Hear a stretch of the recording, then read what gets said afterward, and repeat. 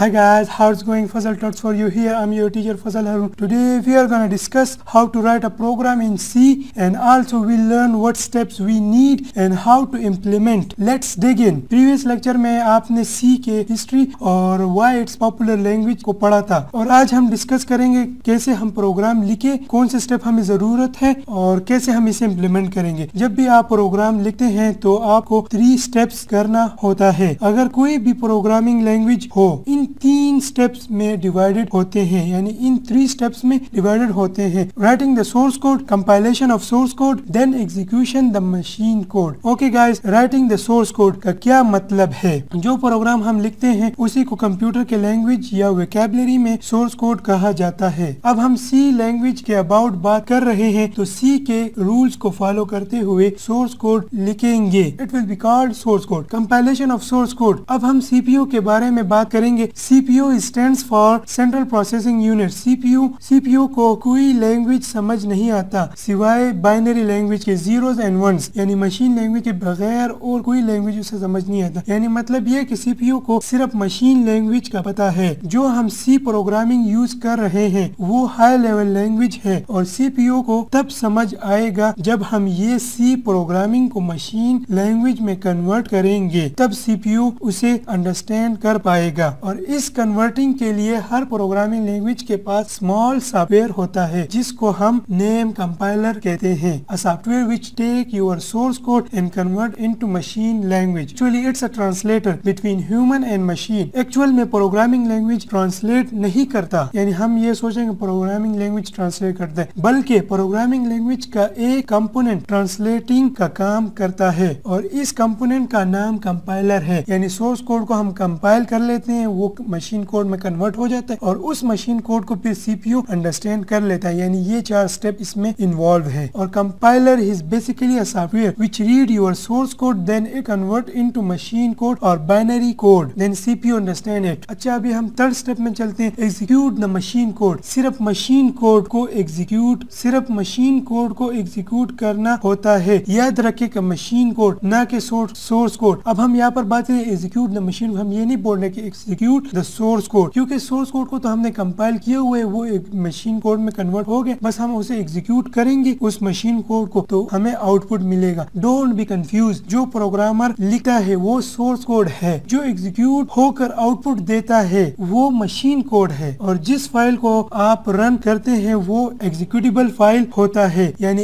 Exe file जिसे हम कहते हैं डॉट एक्जी फ़ाइल जिसे कहते हैं एक्सटेंशन हमारे पास डॉट एक्जी होता है। अब हम इन तीन स्टेप्स को देखेंगे कि हम ये कैसे करें। आपने नोटपैड को यूज़ किया होगा, यानी नोटपैड या नोटपैड प्लस प्लस आप देख रहे हैं कि मैंने नोटपैड को ओपन किया हुआ है, इसमें मैंने कोड भी ऑलरेडी लिखा हुआ है, मगर ये कोड हम सिर्फ़ लिख सके इसमें कंपाइल नहीं कर सकते ओपन कर ले नोटपैड को और सोर्स कोड लिख ले। मगर नोटपैड में ये फैसिलिटी नहीं है कि कंपाइल या एग्जीक्यूट भी साथ साथ हो जाए। ये नोटपैड प्रोवाइड नहीं करता, क्योंकि नोटपैड सिर्फ़ टेक्स्ट एडिटर है, इसमें हम सिर्फ़ लिख सकते हैं यानी ये हमें ये फ़ंक्शन प्रोवाइड नहीं करता कि ये कंपाइल भी करेगा एग्जीक्यूट भी करेगा। इसी वजह से हम कोई एक टूल या सॉफ्टवेयर को, को यूज़ करते हैं या हमें उन सॉफ्टवेयर की ज़रूरत है जो इन तीन स्टेप्स को करने में हमारी मदद करे यानी हमारे हमारी हेल्प करे। इस टूल का स्टैंडर्ड नेम हमारे पास आई डी है। I D which stand for integrated development environment for example अब हम आईडी के एग्ज़ाम्पल ले लेते हैं। कौन से सॉफ्टवेयर हमारे पास आई डी में इंक्लूड है? तो कोड ब्लॉक हो गया सी लाइन हो गया Visual Studio C and C plus plus dev C plus plus notepad C plus plus या Eclipse and C plus plus ये हमें हेल्प करते हैं writing a source code compilation of source code and execution of machine code और notepad सिर्फ़ writing a source code में help कर सकता है बट कंपाइलेशन और एग्जीक्यूशन ऑफ़ कोड नहीं होगा। इसी वजह से आईडी की ज़रूरत है। दैट्स इनफ फॉर टुडे इंशाल्लाह नेक्स्ट लेक्चर में टॉप आईडी के अबाउट डिस्कशन करेंगे। Please subscribe my channel for more videos if you have any problem leave